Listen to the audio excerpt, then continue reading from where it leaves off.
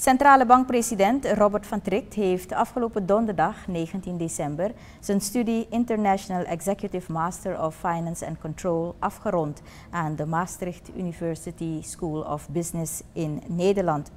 Hij verdedigde met succes zijn scriptie met als titel How to Manage Strategic Control of Conglomerates in Developing Countries.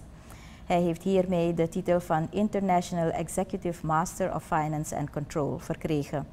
Met het afronden van deze studie komt de bankpresident de belofte na die hij kort na zijn aantreden op de bank in maart dit jaar heeft gedaan.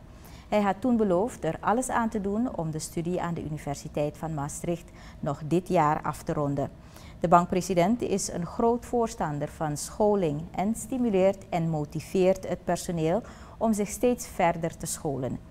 Met het afronden van zijn studie geeft hij inhoud aan de leuze die hij zelf hoog in het vaandel draagt, namelijk Lead by Example.